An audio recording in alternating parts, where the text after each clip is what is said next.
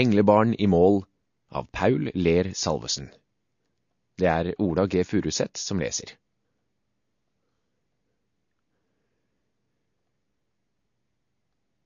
Våren gjør foreldre gale. Det begynte en fredag i april. Snøen smeltet i brune pytter på banen bak skolen. Været klarte ikke å bestemme seg for å være fint eller stygt.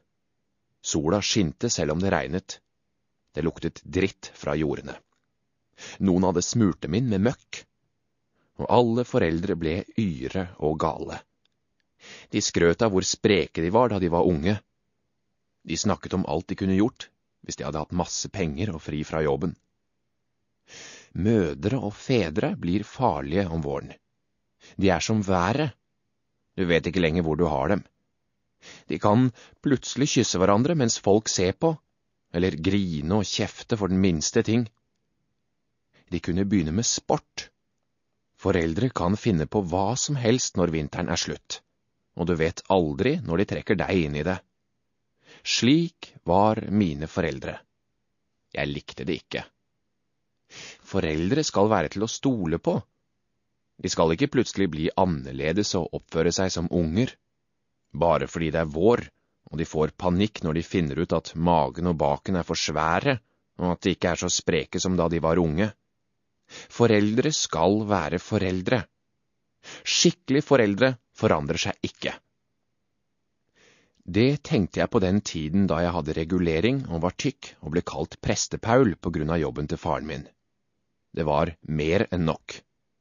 Jeg hadde ikke bruk for foreldre som flippet ut og ble gale i tillegg.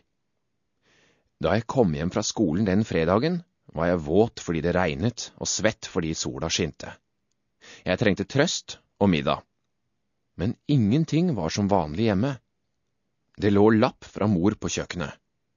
Hun var på trening med Trude, en venninne. Det ble middag om kvelden.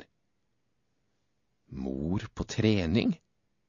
Hun som elsket å sitte med bena under seg i sofaen og lese og spise sjokolade når hun hadde fri? Mor og sport? Hun som ikke visste forskjell på fotball og håndball?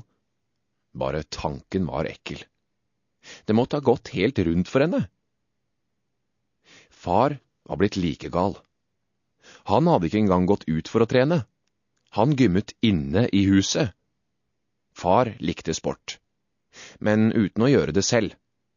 Han hørte skøyteløp på radio og så fotball på TV, og skrøt av rekorden sin på 60 meter da han var tolv år.